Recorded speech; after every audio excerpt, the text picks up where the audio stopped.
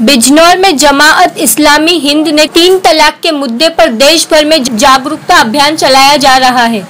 इस अभियान के तहत जमात के कार्यकर्ताओं ने तीन तलाक के मुद्दे पर एक कॉन्फ्रेंस की, जिसमें जमात इस्लामी हिंद के अध्यक्ष डॉक्टर एम एस अंसारी ने बयान कर कहा कि कुरान में कहीं भी तीन तलाक की इजाज़त नहीं है। एक दफ़ा में एक ही तलाक दे सकते हैं। तीन तलाक नाजायज है। उन्होंने यह भी कहा कि जो मुस्लिम महिलाएँ तलाकशुदा है, उनकी सहायता जमात इस्लामी हिंद करेगी। जमात इस्लामी के जनपद अध्यक्ष फारूक साहब, इकबाल साहब मसूद अली खान साहब, महबूब इलाही साहब, मीडिया बंधुओं और सभी साथियों, मेरी तरफ़ से आप सबको सलाम और आदाब।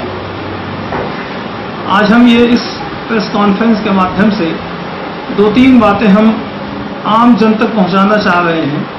पहली बात तो ये कि समाज में, किसी भी समाज में, चाहे वो हिंदू समाज हो या मुस्लिम समाज हो जो कुछ भी समाज में लोग करते हैं, ये आवश्यक नहीं है कि वही धर्म हो। बिगाड़ दिन ब दिन बढ़ता जा रहा है।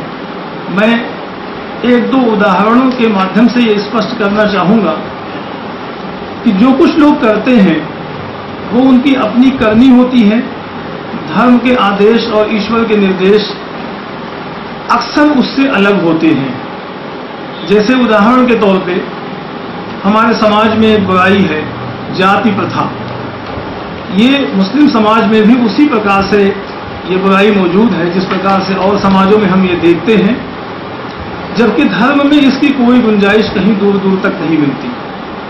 और कुरान में इसको, इसकी भत्सना की गई है, और जाति प्रथा और जाति के आधार पर भेदभाव करने वालों को सख्त अजाब यानी सजा के बारे में उन कहा गया है कि उनको सजा का भोगी होना पड़ेगा।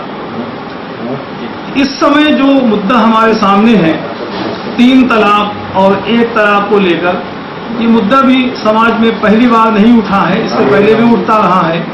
और हमने जमात इस्लामी की तरफ़ से पहले भी लोगों को इस इस संबंध में शिक्षित करने का प्रयास किया है कि धर्म के अनुसार तलाक सिर्फ़ एक है और एक तलाक देना ही पर्याप्त होता है।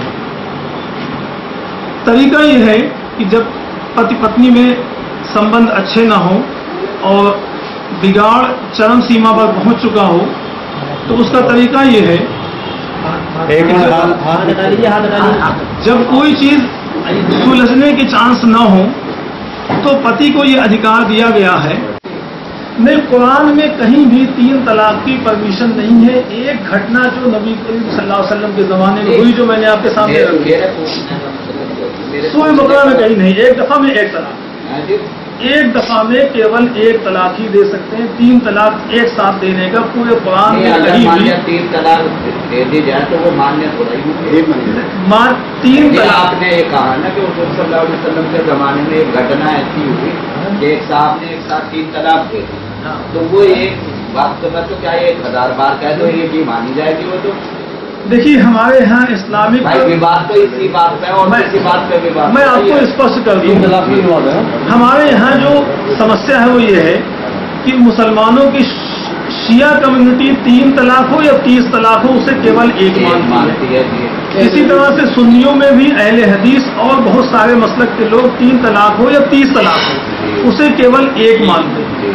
लेकिन फ़िक़ हनफी, जिसके मानने वाले भारत में लगभग 70 परसेंट मुसलमान हैं, खासतौर से इंडियन सब कॉन्टिनेंट में, जिसमें भारत, पाकिस्तान, बांग्लादेश, श्रीलंका, ये सब आते हैं तो 70 परसेंट चूँकि हँसी लोग हैं, वो तीन तलाक को तीन ही मानते हैं, और वो उसके पीछे उसी हदीस का प्रमाण पेश करते जो जो मैंने आपके सामने रखी।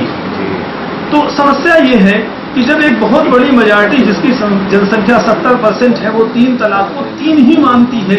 यद्यपि उसे वो गलत मानती है।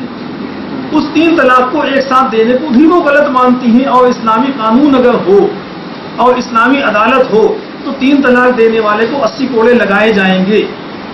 लेकिन चूँकि इम्प्लीमेंटेशन हुआ है तो इसलिए वो 70 परसेंट आबादी ये मानती है कि तीन तलाक ना दिया जाए। यदि अगर कोई देता है तो उसे इम्प्लीमेंट किया जाए। ये है असली विवाद तो यही है ये- बात है तो। हम इसीलिए एजुकेट कर रहे हैं कि भाई आप तीन तलाक किसी तरह से ना दो ये हराम है नाजायज है गलत है। एक वक्त में तीन तलाक ना दिया जाए।